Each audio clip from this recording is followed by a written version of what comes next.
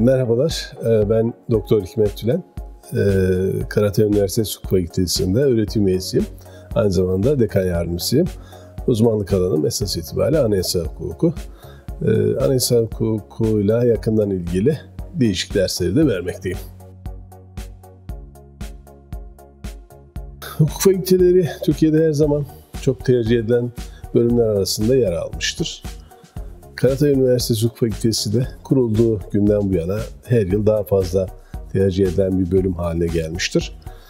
Ee, tabii bunda e, temel belirleyici olan e, hukuk fakültesi mezunlarının yaptıkları işler dolayısıyla toplumda elde ettikleri prestij, saygınlık ve meslekleri dolayısıyla mesleklerini yaparken elde ettikleri gelir seviyesi belirleyici olmakta. Bunun yanı sıra e, yapılan işler, icra edilen meslekler dolayısıyla adaletin tecellisine hizmette bulunmuş olmak, insanların ihtiyaçlarına, sorunlarına cevap üretebilmek de manevi açıdan tatmin edici bir durum. Bu da e, fakültelerinin daha çok tercih edilmesi nedenleri arasında yer alıyor. Karatay Üniversitesi Hukuk Fakültesi 2010 yılından beri öğrenci almakta ve her yıl daha çok tercih edilmekte, puanları yükselmekte. Bunun nedenleri arasında e, Konya'da bulunması önemli bir etken. Konya bir büyük şehir. Yaşaması kolay, huzurlu, sakin bir şehir. Ulaşım imkanları son derece uygun. Bunlar tercih nedenleri arasında. Yanı sıra öğrenci sayısının çok olmaması bir önemli etken. Yılda yaklaşık 200 civarında öğrenci bize e, her yıl kayıt yaptırıyor. Dolayısıyla da az sayıda öğrenci olduğu için öğrencilerin hocalarla birebir temas kurma imkanları daha fazla oluyor. Bütün dersler deneyimli öğretim üyeleri tarafından veriliyor. Fakültenin kendine ait müstakil bir binası var.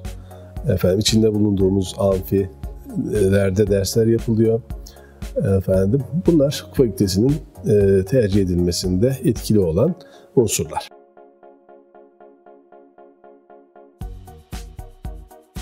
Herkesin bildiği gibi hukuk fakültesi mezunları gerek kamu kesiminde gerek özel sektörde pek çok işi yapabiliyorlar. Çok değişik ünvanlarla çalışabiliyorlar. Herkesin bildiği üzere başta avukatlık, e, keza hakimlik, savcılık, mülki idare amirlikleri, kamu kurumlarında çeşitli uzmanlıklar, müfettişlikler bunlar hep hukuk fakültesi mezunlarına açık olan alanlar.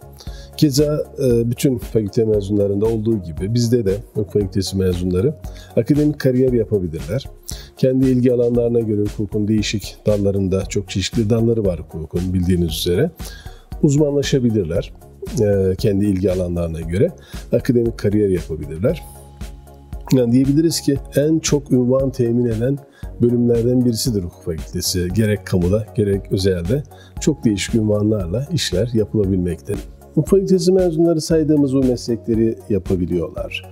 Keza bazı meslekler var, noterlik gibi, sadece hukuk fakültesi mezunlarına tahsis edilmiş olan, onların yapabilecekleri meslekler. Tabii her şeyden önemlisi de hukuk fakültesinde alınan eğitim öğrencilere e, önemli bir sosyal bilim formasyonu sağlıyor. Bu temele dayalı olarak öğrenciler kendi seçimlerine, isteklerine, tercihlerine göre değişik meslekleri icra edebiliyorlar. Bu konuda e, önemli bir donanım sağlamış oluyor e, fakültesi eğitimi. Bu e, fakültelerinin tercih edilmesinin en önemli nedenlerinden birisi.